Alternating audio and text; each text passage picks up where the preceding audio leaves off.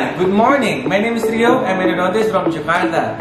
Today I have a special video for you. A single visit endodontic and restorative treatment which was done in maxillary second premolar.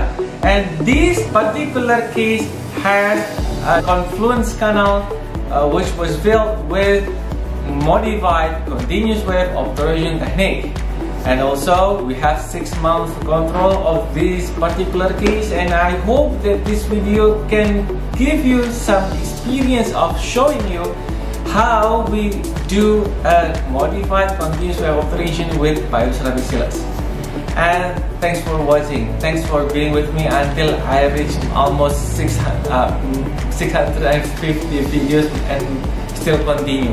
And I hope that this video is useful for you. Stay super stay healthy stay awesome and stay with me in this YouTube channel. Thank you very much. Thank you for watching. Assalamualaikum warahmatullahi wabarakatuh. Bye bye